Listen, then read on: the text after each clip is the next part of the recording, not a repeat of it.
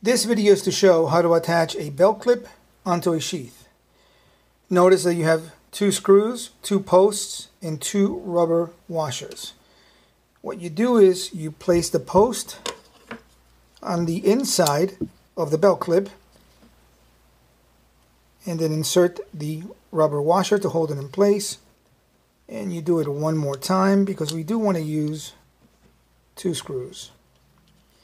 The next thing you do is you match the posts to the holes on the sheath. Then you grab your screw, start it up,